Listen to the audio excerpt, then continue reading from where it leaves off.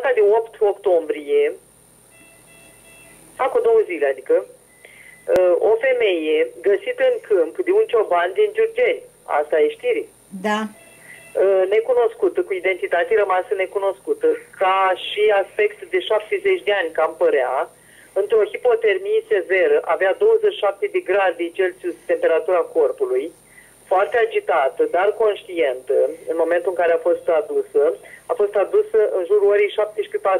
17.45 la CPU, uh, a fost uh, încălzită, recuperată, transferată întâi pe secția de terapie intensivă, iar uh, acum, deoarece starea s-a îmbunătățit, a fost transferată în continuare pe secția de medicală. Și cadrele medicale din CPU au chemat poliția ca să identifice persoana, că nu avea buletin, nu avea nicio identitate, la noi figura necunoscut.